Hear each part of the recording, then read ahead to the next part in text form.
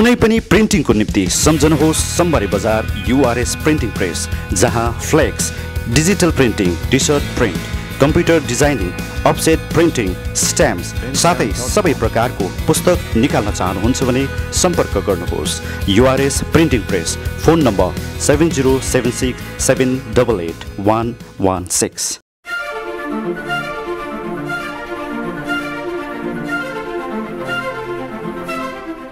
सर्वप्रथम त तपाईँहरू तपाईँहरू सबैजनाको जुन च्यानल हेर्ने सम्पूर्ण दर्शकहरूलाई सुन्ने श्रोताहरूलाई दिपावलीको शुभकामना भन्न चाहन्छु र नजिकै गरेको छठको पनि रहेको कुरा के भन्दाखेरि तपाईँहरूको आज भारतमा आएर भारतको पनि डुवर्स क्षेत्र भन्छ नि यता सिक्किम दार्जिलिङ होइन मिरिक गान्तोक सम्पूर्ण क्षेत्रमा रहनुभएका होइन त्यसमा पनि खास गरेर हाम्रो नेपाली समुदायका भयो। अन्य समुदायका जु जुनसुकै समुदायका हुन्। बिरामीहरूको लागि चाहिँ तपाईँको हामीले कस्तो खालको सेवा सुविधा दिनुपर्छ? कुरो भन्नु भएन तपाईँहरूले भन्न खोज्नुभएको कस्तो सुविधा चाहियो जस्तो उपचार त हुन्छ जस्तो पैसै नभएकोलाई के गरेर गर्ने जस्तो पैसा भएकोलाई कसरी गर्ने? जस्तो तपाईँहरूबाट हामी के गर्दाखेरि तपाईँहरूलाई सजिलो हुन्छ यहाँको बिरामीहरूलाई होइन? जस्तो कतिवटा कुरा कस्तो हुन्छ भने तपाईँको जस्तो के म हामीसँग हुँदैन। जस्तो हस्पिटलको चार्ज पैसै नभएको मान्छेलाई हस्पिटलको चार्ज नलिदिने। कुरा भन्दैन हरेक कुरा हुन्छ नि त। हरेक कुराबाट हामी सहयोग गर्न सक्छौँ। किनभने त्यसमा तपाईँहरूको पनि सबैजनाको भूमिका हुनुपर्छ।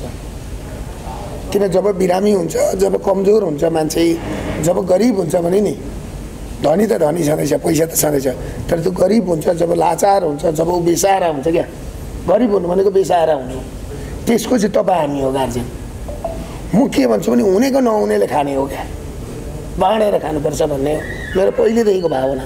त्यसमा पनि मैले के भनेको छु भने सेवा गर्नलाई सीमा चाहिँदैन। राजनीति गर्नलाई सीमा चाहिन्छ। मेरो लागि त तपाईँहरू नेपालको मान्छे मेरो आफ्नै मान्छे सबै एउटै हो। किनभने हस्पिटलले हेर्ने त्यो बिरामीहरूको लागि त एउटै उपचार हो एउटै किताब हो एउटै पद्धति हो र पैसा छ कि छैन?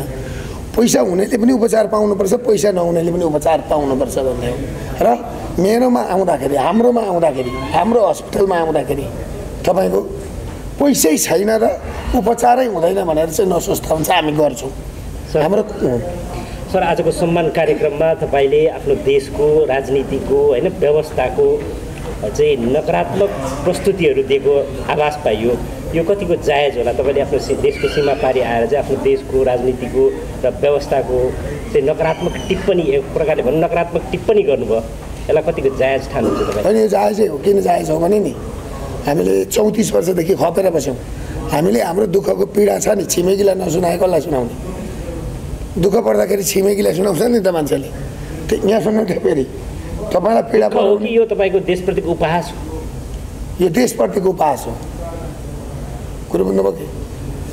नेताहरूको कारणले गर्दा भएको। एउटा सुन्दर देशमा जन्मियौँ हामी। कुरा बुझ्नु भएन तर हामीले राम्रो गरी खाने मौका हामी जस्तो मान्छेले गरी खाने र हामी राम्रो काम गर्छौँ भन्दाखेरि पाएनौँ क्या तपाईँ राजनीतिक रूपमा पनि आफ्नो देशमा विवादित रहनु भएको छ बेला बेलामा विवादास्पद टिप्पणीहरू तपाईँहरूको आइरहेको छ होइन? तपाईँले अहिलेको राजनीतिक व्यवस्थाभन्दा विपरीत धार समाएर राजावादी राजा अ, लाई चाहिँ ल्याउनुपर्छ फर्काइ ल्याउनुपर्छ भन्ने एउटा तपाईँको धारणा छ। यो कतिको जायज छ? यस्तो हुन्छ।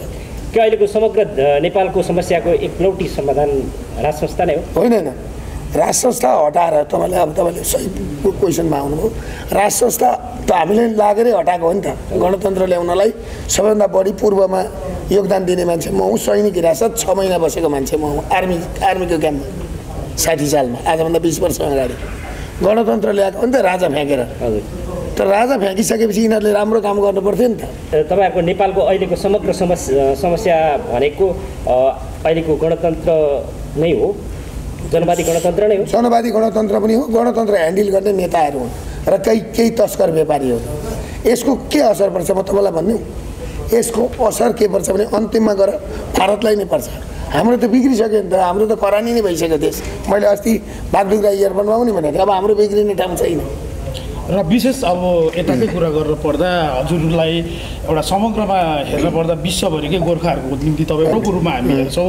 किन हामीले नेपालका न्युजहरू हेरिरहेका छौँ देखिरहेका छौँ। जसरी तपाईँले विगतका दिनहरूदेखि अब एउटा गरिबलाई सेवा गर्ने कार्य गर्नुहुँदैछ उन्मुक्त उन्मुक्तिको कार्य गर्नुहुँदैछ र यसमा अब हाम्रो क्षेत्रको वासीहरूले पनि तपाईँमाथि आशाहरू साँचेको छ। र के कस्तो तपाईँहरूले उनीहरूलाई सन्देश दिन चाहनुहुन्छ? साथै आज जसरी मङ्गल माइती यो जुन पब्लिक ट्रस्टले हजुरलाई यहाँनिर सम्मानित जनाए अघि पनि तपाईँले भन्नुभयो कि नेपालमा मलाई चिन्न सकेन तर विदेशमा मेरो यहाँ मोल भयो भनेर। है र यसमा तपाईँ के भन्न चाहनुहुन्छ? त्यो त मैले अघि भने नि नेपालीहरूले मलाई चिन्न सकेनन् तर तपाईँहरूले छिमेकमा बसेर चिन्नुभयो।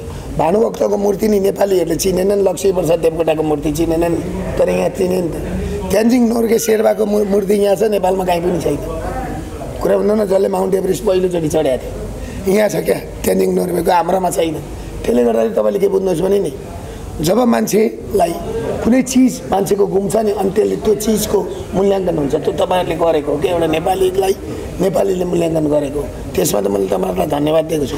र एउटा कुरा के छ भने उहाँले जुन अघि प्रश्न गर्नु पनि यी कुराहरूमा कस्तो हुन्छ भन्दाखेरि तपाईँको खप्न नसक्ने स्थिति भयो क्या अब।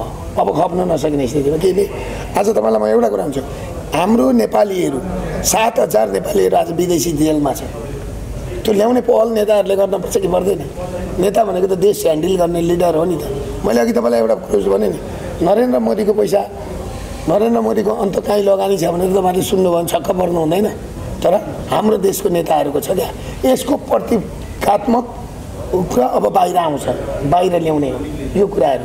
हजुरलाई विशेष गरेर हाम्रो यहाँनिर तपाईँको गरिबहरूलाई चाहिँ नि शुल्क स्वास्थ्य सेवा गर्नुहुन्छ। तर यहाँनिर भारतमा के छ भनेदेखि धेरै मानिसहरूको हेल्थ इन्सुरेन्स हुन्छन् गरेको हुन्छन्। तर त्यो सुविधा तपाईँहरूको त्यहाँ पाइन्छ कि पाइँदैन? होइन यस्तो छ? भारतको हेल्थ इन्सुरेन्स भनेको त भारतमा मात्रै लागु हुन्छ। जस्तो हाम्रो नेपालको हेल्थ इन्सुरेन्स नेपालीहरूको मात्रै लागु हुन्छ। तर एउटा कुरो के छ भन्दाखेरि हामीले गर्ने उपचारमा जस्तो एक लाखको सुविधा हाम्रोमा पाउनुहुन्छ तर तपाईँहरूले पाउनु हुँदैन। त्यो त नेपालीले पाउने हो नि त। नेपालको। हो नेपालको सिटिजनसिप भएकोले। तर एउटा कुरो के छ भन्दाखेरि तपाईँको यहाँबाट दिल्ली जाने यहाँबाट बम्बई जाने जुन भाडामा चाहिँ नि त्यहाँ गएर उपचार हुन्छ।